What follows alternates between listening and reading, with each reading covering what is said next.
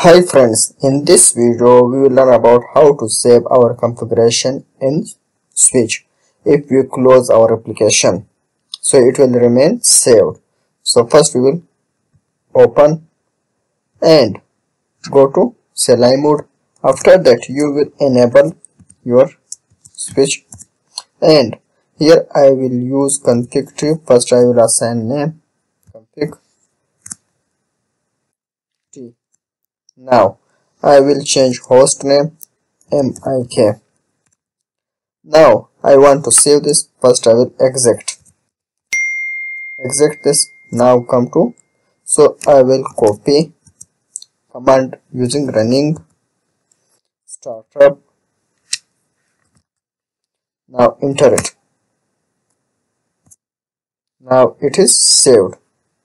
So and the next method is simply write wr write memory. So it is it is also saved. If you want to another way it is also present. Go to your config mode and here you can save it.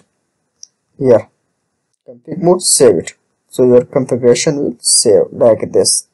Now you can see it so these three ways are there where we can see our configuration. So this was our video. If you like video so please like it share it subscribe and follow me. So thank you for watching